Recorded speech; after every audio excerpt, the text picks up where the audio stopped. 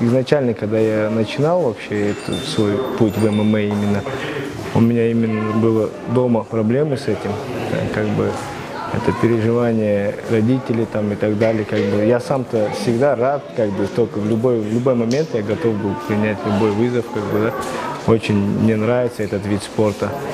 Ну, и были кое-какие изменения в жизни, да, там, как бы, получается, родители были против, и мои вообще, свои убеждения, более как религиозные, да, и я решил оставить этот вид спорта и перейти более без,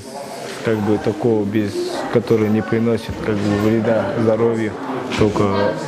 пользу приносит, вот, более выбрать спорт, это больше подошел мне именно греплинг, джиу-джитсу. А так, при каждом турнире, на котором я присутствую, мне всегда хо- хочется как бы выйти, я всегда думаю об этом, как бы, да,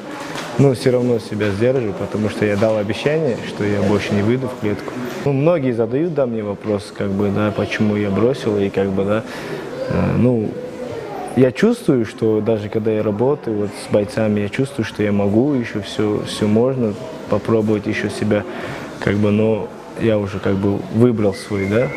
сделал свой выбор, да, что я больше не вернусь в клетку, я себя как бы больше вижу в джиу-джитсу, в грэплинге.